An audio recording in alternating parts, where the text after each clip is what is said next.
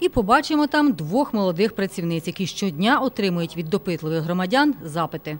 Може прийти взагалі тільки один запит е, в день. а Разом з тим, е, наступного дня може їх прийти п'ять е, одночасно. У середньому дівчата обробляють 20 запитів у тиждень. Аби їхня робота була плідною, одразу скажемо, безглуздих питань не надсилайте. Відповідь на електронний запит можна отримати тільки за наявності офіційних документів, де й міститься відповідь. Коли таких немає, немає й законного права відповідати. Один із активних запитувачів якусь не повірив у це, подав скаргу до суду і програв процес, бо задокументованої відповіді на його питання справді не було.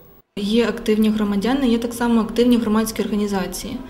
Е, Громадські організації, які е, моніторять е, ситуацію в області, наприклад, чи виконуються обіцянки дані, Начальник сектору наголошує, запит слід відрізняти від звернення. Різниця вагома. Запит питання, де можна не зазначати прізвища й точної адреси, надіслати його електронною поштою. Запит прохання надати наявну інформацію про щось. А звернення обов'язково письмовий документ. Надсилається звичайною поштою або ж передається особисто. Строки реагування приблизно місяць. Форма звернення телефоном або усна на прийомі громадян посадовцями також занотовується з обов'язковим зазначенням реквізитів та адреси. Іншими словами, звернення серйозний письмовий документ.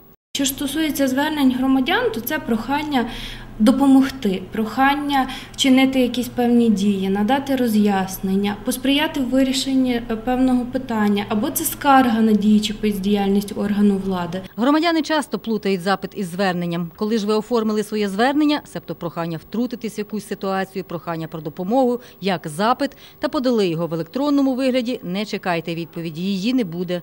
Досить часто звертаються, оформляють документи як запити на інформацію, хоча насправді по своїй суті це є зверненням громадян. На жаль, на сьогоднішній день закон про звернення громадян не передбачає можливості розгляду такого документу. Він повертається громадянинові для усунення недоліків. Зразок запиту на веб-сайті обласної державної адміністрації. Його треба заповнити та надіслати. Запитують краяни про різні речі: про майновий та фінансовий стан чиновників, фінансування заходів, останнім часом про реформування галузей охорони здоров'я та освіти. Усі питання, які стосуються службової діяльності, знаходять відповіді. Коли ж йдеться про персональну, конфіденційну навіть інформацію, то й таку можна отримати, коли посадовець дасть на це згоду. Приміром, на мій запит про доходи та соціальний статус начальника цього сектору я відповідь отримаю. Пані Марина погодилася її оприлюднити. Якщо я буду вважати, що ці, ця персональна е, інформація не зашкодить моєму особистому життю, то звичайно я дам е, згоду на розповсюдження цих персональних даних.